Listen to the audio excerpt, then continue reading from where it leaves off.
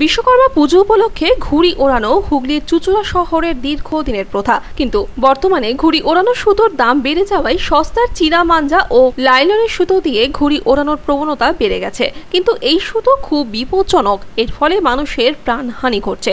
মানুষকে সচেতন করতে চুচুড়া তেরো নম্বর ওয়ার্ডের তৃণমূল কংগ্রেসের কনভেনার জয়দেব অধিকারী কচি কাচাদের হাতে কাগজের ঘুড়ি ও কটন সুতো ও লাঠাই তুলে দিলেন। একটা দোকান থেকে এই চায়না সুতোর উদ্ধার হয়েছে, প্রচুর পরিমাণে পুলিশ প্রশাসন উদ্ধার করেছে। তা আমরা চাইছি যে এর আগেও পরবর্তীকালে আমরা মানে পূর্বে আমরা দেখেছি যে একজন গলায় তার সুতো জড়িয়ে গিয়ে আহত হয়ে মারা গেছে।